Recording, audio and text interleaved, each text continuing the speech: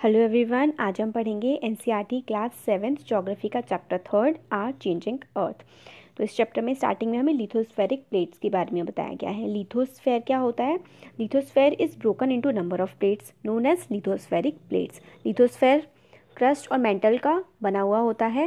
मतलब क्रस्ट का तो पूरा पोर्शन और मेंटल का कुछ पोर्शन ओशियानिक और कॉन्टिनेंट्स दोनों का मिलके जो पार्ट बनता है, वो हम लिथोस्फेयर बोलते हैं उसको। और लिथोस्फेयर काफ़ी सारी प्लेट्स में बटा हुआ होता है। और ये जो प्लेट्स हैं ना, ये बहुत ही स्लोली मूव करती हैं। स्लोली का मतलब इतनी ज़्यादा स्लोली कि हर साल कुछ मिलीमीटर्स ही ये मूव करती हैं। और इनकी जो मूवमेंट है, इसका रीज़न है molten magma inside the earth मतलब अर्थ के अंदर मॉल्टन मैग्मा होता है। आप कोई भी लिक्विड से चीज़ समझ लीजिए। मान लीजिए आप गम हो ग्लू होती है ना ग्लू को आप पका रहे हैं और वो जब पकेगी तो वो गाढ़ी सी हो जाएगी और वो मॉल्टन होती है है ना? मॉल्टन फ़ेज़ में होती है वो। तो इस टाइप का ही कुछ मॉल्टन मैग्मा होता है अर्थ के अंदर और वो मूव करता रहता है बहुत ही स्लोली और जिसकी वजह से लिथोस्फेरिक जो प्लेट्स होती हैं वो भी मूव करती हैं और ये जो मॉल्टन मैग्मा है, ये मूव करता है सर्कुलर मैनर में। और ये जो मूवमेंट है इन प्लेट्स की लिथोस्फेरिक प्लेट्स की मूवमेंट अर्थ के सरफेस में काफ़ी सारे चेंजेस लेके आती हैं। और ये जो अर्थ की मूवमेंट है, हम इसको डिवाइड कर सकते हैं दो पार्ट्स में। अब ये देखिए, ये जो टेबल दी हुई है ना, इस टेबल को अब हम हमें पढ़ना है। अर्थ की मूवमेंट हम डिवाइड कर सकते हैं एंडोजेनिक फोर्सेस में और एक्सोजेनिक फोर्सेस में। एंडोजेनिक का मतलब होता है अंदर की तरफ़ इनसाइड एंडो का मतलब। जेनिक का मतलब होता है ओरिजिन मतलब जिसकी उत्पत्ति अर्थ के अंदर से हुई है एंडोजेनिक एक्सोजेनिक एक्सो का मतलब आउटसाइड बाहर. जेनिक का मतलब ओरिजिन तो जो बाहर से ओरिजिनेट हुआ है तो अर्थ की दो टाइप की मूवमेंट्स हो गई, एक एंडोजेनिक और एक एक्सोजेनिक एंडोजेनिक में कुछ आती हैं सडन फोर्सेस सडन फोर्सेस मतलब जो एकदम से झटके से जो आती है, जैसे अर्थ भूकंप आता है ना, एकदम से आ जाता है, कुछ इतना हमें पता नहीं होता है. वॉलकैनोज जो फटते हैं, उनका भी नहीं इतना पता लगता है और लैंडस्लाइड जैसे कि भूस्खलन, ये स्पेशली पहाड़ी एरियाज़ में होता है। जैसे पहाड़ियाँ गिर जाती हैं ना तो उनको लैंडस्लाइड्स बोलते हैं। तो ये सडन फोर्सेज होती हैं और अर्थ के अंदर से जनरेट होती हैं। और एंडोजेनिक फोर्सेज में ही डायोस्ट्रेफिक फोर्सेज आती हैं। डायोस्ट्रेफिक फोर्सेज में मेनली क्या होती है? माउंटेन बिल्डिंग फोर्सेज होती हैं। मतलब अर्थ की क्या हो रही है? लिथोस्फेरिक प्लेट्स की मूवमेंट हो रही है। इससे क्या होता है? थोड़ी थोड़ी मूवमेंट होते होते काफ़ी टाइम बाद, हज़ारों सालों बाद जो है माउंटेन्स बन जाती हैं। तो ये डायस्ट्रॉफिक फोर्सेज जो होती हैं, ये माउंटेन बिल्डिंग फोर्सेस होती हैं माउंटेन्स को बनाने का ये काम करती हैं। अब एक्सोजेनिक फोर्सेस एक्सोजेनिक जो बाहर से चीज़ें एक्ट करती हैं, एक होता है इरोजनल और डिपोजिशनल इरोजन का मतलब होता है किसी भी चीज़, जैसे कोई भी लैंडफॉर्म है, उसमें से मिट्टी उड़ गई, हवा की वजह से, या पानी की वजह से पानी बह के आया, वो मिट्टी के पानी अपने साथ ले गया। ग्लेशियर्स की वजह से भी होता है और सी वेव्स की वजह से भी ये होता है। इरोजन मतलब मिट्टी या कोई भी जो पार्टिकल है, इस, एक पर्टिकुलर जगह से, वो उसको खुदर के हटा दिया। तो वो इरोजन हो गया। डिपोजिशन इसका उल्टा होता है। इरोजन में क्या होता है? एक मिट्टी या ऊपर की सतह उड़ के वहाँ से चली जा रही है। डिपोजिशन में कोई मिट्टी या कोई भी ऐसी चीज़ जो आके वहाँ पर ठहर रही है, रुक रही है, वो होता है डिपोजिशन और इन क्या क्या करते हैं? इरोजन और डिपोजिशन रिवर भी करती है वेंट सी वेव्स और ग्लेशियर अब हमें यही बताया गया है कि एंडोजेनिक जो फोर्सेस होती हैं, वो सडन फोर्सेस होती हैं। अर्थ को एक वोल्केनो और ये काफ़ी ज़्यादा डिस्ट्रक्शन करती है मतलब नुकसान पहुंचाती हैं अर्थ के सरफेस को। अब वोल्केनोज क्या होते हैं, ये पढ़ना है। देखिए वोल्केनो एक ना वेंट टाइप का होता है। ये यहाँ पे देखिए, ये जो वेंट लिखा हुआ है, यहाँ पे एक ओपनिंग है। इसमें से क्या होता है मॉल्टन जो मैग्मा है, वो निकल के आता है। मॉल्टन मैग्मा क्या होता है अर्थ की तीन लेयर्स होती हैं क्रस्ट मेंटल कोर तो इसमें जो मेंटल वाले एरिया में मॉल्टन मैग्मा होता है, जो मैंने अभी आपको ग्लू वाला एग्ज़ाम्पल दिया था इसी टाइप का मॉल्टन मैग्मा होता है।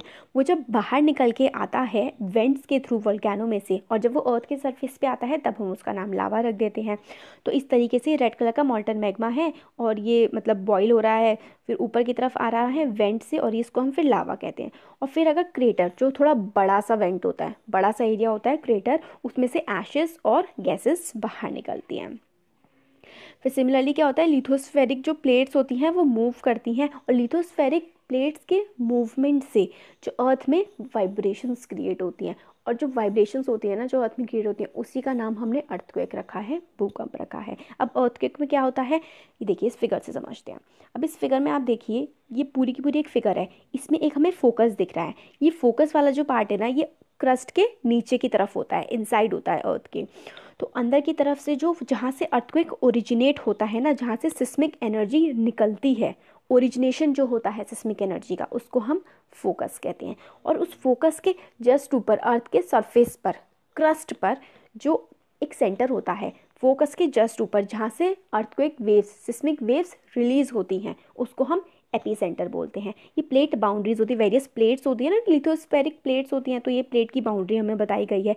और फोकस के जस्ट ऊपर होता है एपी सेंटर और फिर जो सिस्मिक वेव्स होती हैं एपी सेंटर से ही हर तरफ़ इधर उधर जाके मूव करती हैं, फैलती हैं पूरी अर्थ की जो भी लेयर होती है क्रस्ट में आगे की तरफ़ एपी सेंटर से।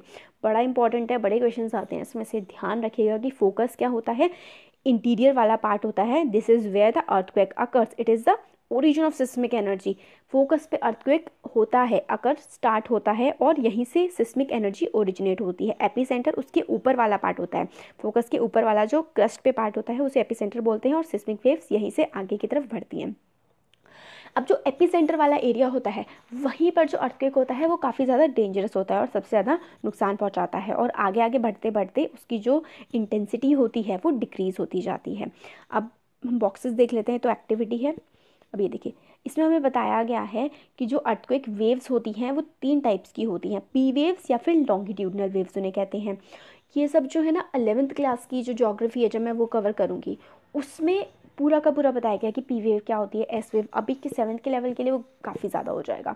तो अभी हमें ये जान लेना है कि तीन वेव्स होती हैं पी एस और एल पी को हम लोग लॉन्गिट्यूडनल वेव या और प्राइमरी वेव्स भी कहते हैं एस को हम सेकेंडरी वेव्स भी कहते हैं और ट्रांसफर्स वेव भी कहते हैं और एल वेव जो होती है, जो सरफेस वेव होती है, जो सरफेस पे आके एक्ट करती है, उसको हम एल वेव कहते हैं। ये याद रखना है पी एस और L P primary wave S secondary wave S को हम ट्रांसवर्स वेव भी कहते हैं पी को लॉन्गिट्यूडनल वेव भी कहते हैं और एल को क्या कहते हैं? सरफेस वेव ये क्वेश्चन आ सकते हैं कि सरफेस वेव कौन सी होती है? क्या नाम होता है उसका? एल पी और एस तो बहुत सिंपल है. पी प्राइमरी होती है एस सेकेंडरी होती है और लॉन्गिट्यूडनल और ट्रांसफर्स आप याद कर लीजिएगा। फिर आगे, फिर अर्थक्वेक के बारे में बताया गया है कि अर्थक्वेक को प्रिडिक्ट कर पाना काफ़ी मुश्किल है, मगर हम लोग कुछ नेचुरल वेज हैं जिससे लोगों ने काफ़ी सदियों से पता लगाते आ रहे हैं, जैसे कि क्या होता है एनिमल्स को काफ़ी पहले पता लग जाता है। फिशेस जो होती हैं, अपने पॉन्ड में वो हिलने डुलने लगती हैं स्नैक्स भी अपने बिलों से बाहर निकल के आ जाते हैं।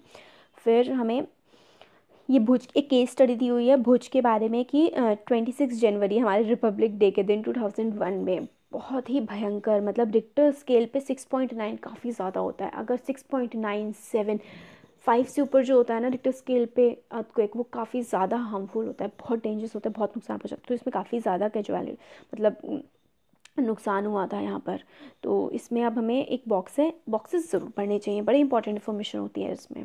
तो इसमें हमें बताया गया है कि अर्थक्वेक जो है वो मेजर करते हैं हम मशीन से, उसका नाम होता है सिस्मोग्राफ और जो मैग्नीट्यूड होता है अर्थ, ये जो होता है सिस्मोग्राफी इंटेंसिटी मेजर करता है। और जो मैग्नीट्यूड है, मैग्नीट्यूड मेजर करने के लिए हम रिक्टर स्केल का यूज़ करते हैं। टू और उससे लेस वाला जो अर्थक्वेक होता है, वो तो बहुत ही कम फील होता है। और earthquake over five can cause damage. Five से ऊपर है, वो डैमेज कॉज कर सकता है। और सिक्स से ऊपर जो होता है, वो तो बहुत ही भयंकर होता है। और जो सेवन होता है, वो तो वेरी स्ट्रॉन्ग होता है। और मेजर अर्थक्वेक की क्लासिफिकेशन में आता है। जो भुज में आया था, वो सिक्स पॉइंट नाइन था रिक्टर स्केल पे। बहुत भयंकर अर्थक्वेक था वो, बहुत नुकसान हुआ था उसमें। बहुत ज़्यादा नुकसान हुआ था। तो हम देखते हैं कि एक्टिविटी नहीं एक्टिविटी तो नहीं देखनी होती, कुछ नहीं होता इतना इंपॉर्टेंट इसमें। अर्थक्वेक कि हम प्रिपेयरनेस कैसे कर सकते हैं? जैसे कि कोई अर्थक्वेक आए तो हमें किसी सेफ़ स्पॉट पे चले जाना चाहिए। जैसे कि खुला कोई मैदान होगा, या फिर कोई बहुत ही पक्की पक्की जगह जो होती है, जो हमें पता है कि ये चीज़ नहीं गिर सकती अर्थक्वेक से, वहाँ पर जाके खड़े हो जाना चाहिए और हमें दूर रहना चाहिए किससे फायर प्लेसेस से जहाँ पे आग लगी हो या फिर जिन जगहों पर चिमनी हो, शीशे की खिड़कियाँ हों और इस टाइप की जगहों से हमें दूर रहना चाहिए और हमें प्रिपेयर रहना चाहिए कि मतलब अवेयरनेस जिसकी आए अर्थ को एक तो हम लोगों को फटाफट दूसरों को भी अवेयर कर देना चाहिए और बिल्कुल डिज़ास्टर प्रोन एरिया से दूर रहना चाहिए, खुले मैदानों में चला जाना चाहिए। फिर हमें देखिए सिस्मोग्राफ जो है, उसकी पिक्चर दी हुई है। ये मेजर करता है अर्थ को एक उसको इंटेंसिटी को।